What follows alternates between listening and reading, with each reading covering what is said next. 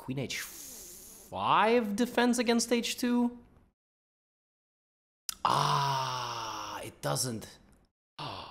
Because he has rook f1. Wow. But I, I, I get two rooks, so it's not... He really likes to give up the queen for the two rooks. I don't know. He really likes to do this, but last time he had the queen, he lost all his pieces, so... Uh... Yeah, I don't know how that worked out for him.